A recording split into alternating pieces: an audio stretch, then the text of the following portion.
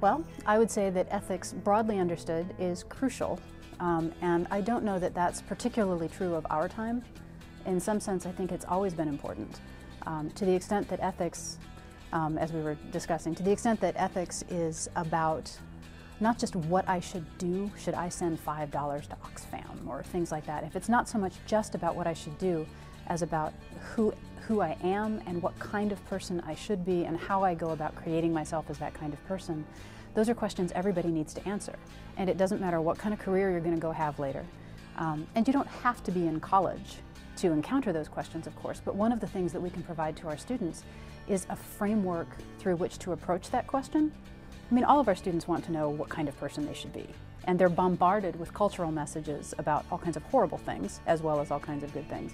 And one of the things that we can provide to our students is sort of a place to stand and the language that they need in order to answer that question for themselves. What kind of person should I be? Well, Aristotle's got an opinion. Let's see what he thought. Wow, that is not right. Okay, well, now you know something. It turns out that that's not your vision of the person. Well, Aquinas has an answer. Oh, no, that's not it too. Okay, and so by, by giving them things to react to, we give them a way to answer that question for themselves um, without necessarily telling them what kind of person they ought to be. Um, so I think it's important and valuable in that sense. And I also think it is sort of becoming uniquely more important now because a lot of the cultural institutions that we used to have that helped people address those questions and answer those questions are falling apart. The family, the church, um, and just not even really so much the church as community. Um, I just got into a huge debate with my environmental political class the other day about what a community was, uh, because we have a very specific political conception of community that involves people committed, committed to each other in their pursuit of the good life. That, that part of my commitment to the good life is sharing in a commitment to help you pursue your good life. And it doesn't mean I'm feeding you or making sure that your house, it just means that I am supporting you in your pursuit of the good life, and that is part of my good. And that's what defines a community. That's a classic conception. I mean, that's straight out of Aristotle, and it comes all the way up to today in contemporary conservatism and civic republicanism, and they had no idea what I was talking about. Like, like they couldn't even, I had, I had a generational moment where they said that their communities are online. There's one guy who said, well, you know, I like to ski, and I have all my, my friends that I met at this website for people who like to ski. And so my community is all over the world. And I'm like, you don't have your community. You don't get to each have your own community. It's not a community if all you have in common is that you like to ski. And, and they really, the class really pushed back on that. They were quite sure that that was. And you know, the very loss of the, the ability to imagine belonging to something, not being me first that then joins something, but the possibility of under, just the possibility of understanding yourself as belonging first, that your identity comes from that, is utterly foreign. And I think it's important to address rights and autonomy and all the rest of that, but I think we've lost a little bit of the counterbalance that made it a more humane way to live. Well, I think it's, it's very satisfying, at least for me, that Holy Cross is sponsoring this particularly. I'm an ethics professor, for one thing, so it's, it's lovely to see my college coming out and showing up in support of my, of my field. Um, but I also think it's important because it's part of our mission.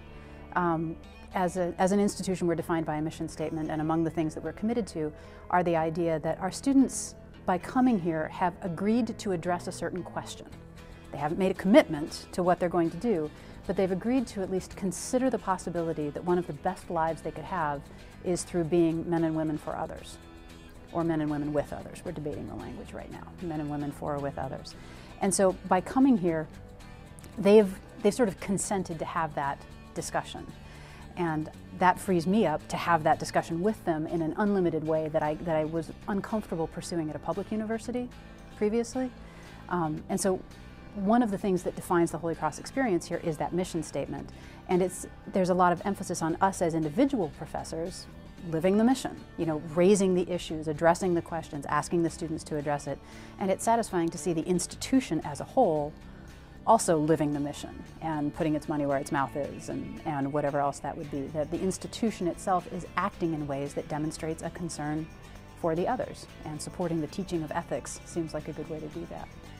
I had never really encountered people from most of these colleges. And it was fascinating to, to read the submissions and to see all of the different ways that ethics are being approached at all of these different schools, um, especially some of the military schools. That was really exciting. They have an honor code culture, which is a whole area. Wow, I get to talk to people who are actually doing honor code ethics. That's fascinating. Um, and so it's it's nice to see people who are at similarly placed schools. They're small. They tend to be they tend to be smaller. They tend to be more liberal arts, and to have and to have people from other schools that are not only honor code, but have a much stronger professional emphasis than we do here at Holy Cross. One of our fundamental commitments is to not guide students too sharply into specific um, professions. You know, we don't have a pre-law major. We don't have a business major. You can't major in those kinds of things in the way you can at, can at other schools, which is a strength and a weakness. I mean, that goes both ways. Um, but I'm interested to talk, and talk with people who do professional training, who actually do pre-professional ethics, and see how they do that and how that's different from what I do as the more general human ethics. So that's useful for me at least. I hope they're benefiting from it too.